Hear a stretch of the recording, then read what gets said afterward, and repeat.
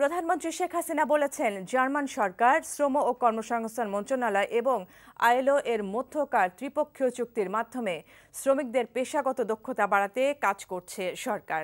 এছাড়া দুর্ঘটনার শিকার শ্রমিকদের ক্ষতিপূরণের লক্ষ্যে ইনজুরি স্কিম চালু করা হয়েছে বলেও জানান তিনি। সকালে প্রধানমন্ত্রী কার্যালয়ে শ্রমজীবী মানুষ ও তাদের পরিবারের সদস্যদের মধ্যে আর্থিক সহায়তা প্রদান অনুষ্ঠানে এসব কথা জানান প্রধানমন্ত্রী। এর আগে কুমিল্লা সিটির নবনির্বাচিত মেয়র মনিরুল হক সাক্কুকে শপথ পড়ান প্রধানমন্ত্রী। রিপোর্টে জানাচ্ছেন মুকসিমুল আহসান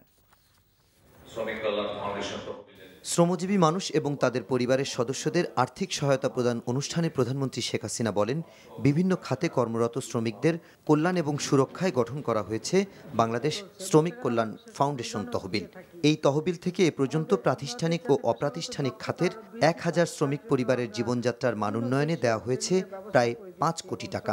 একই সঙ্গে প্রধানমন্ত্রী বলেন, খেটে খাওয়া এসব মানুষের অধিকার প্রতিষ্ঠায় কাজ করছে সরকার। উন্নয়ন এবং উৎপাদনের সঙ্গে যারা সরাসরি জড়িত বা দেশ গঠনে যারা জড়িত, যারা শ্রম দিচ্ছে, যারা খেটে খাচ্ছে, তাদের ভাগ্য পরিবর্তন বা তাদের কাজের কর্মস্থানের নিরাপত্তা এবং তাদের পরিবারের যাতে অন্তত একটু সহায়তা পায় কোনো বিপদ আপদে, সেটাই আমাদের মূল লক্ষ্য।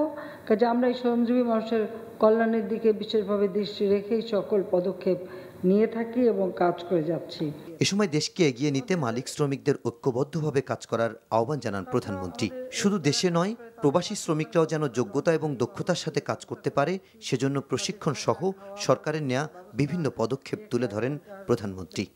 ত্রিপক্ষীয় চুক্তির মাধ্যমে সরকার প্রশিক্ষণের পাশাপাশি দেশের সকল শ্রমিকের জীবনমান উন্নত, অনাকাঙ্ক্ষিত দুর্ঘটনা, শ্রম সম্পর্কিত রোগের চিকিৎসা ব্যবস্থা, প্রশিক্ষণ পুনঃপ্রশিক্ষণ, সামাজিক পুনর্বাসন, এমনকি প্রয়োজনীয় সম্পূর্ণ অক্ষম ব্যক্তিকে যেন পেনশন প্রদান করা যায়, সে বিষয়ে আমাদের চিন্তাভাবনা রয়েছে এবং আমরা কাজ করে যাচ্ছি।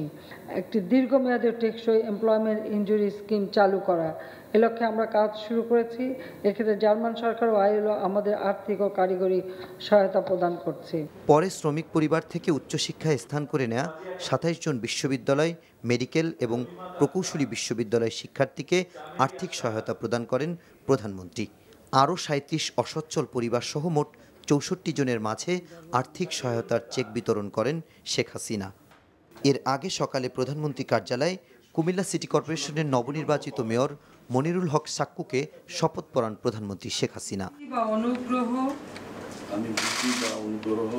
গত ত্রিশে মার্চ অনুষ্ঠিত কুমিল্লা সিটি নির্বাচনে আওয়ামী লীগের প্রার্থী আঞ্জুম সুলতানা সীমাকে পরাজিত করে দ্বিতীয়বারের মতো মেয়র নির্বাচিত হন বিএনপি দলীয় প্রার্থী Monirul Haque Sakku. Muksimul Ahsan, NTV news, Dhaka.